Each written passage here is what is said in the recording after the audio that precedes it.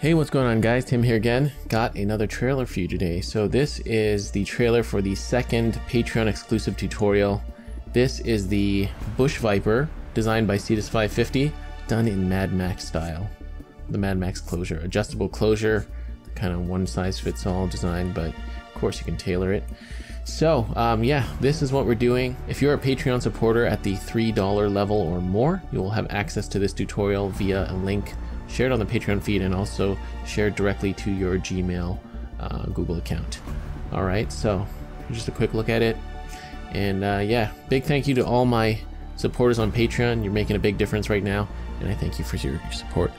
Uh, if you guys want to get access to this tutorial and you're not a Patreon supporter, just check out those links down below and um, you can go from there. Guys, thank you so much for watching. See you on the next one. Bye.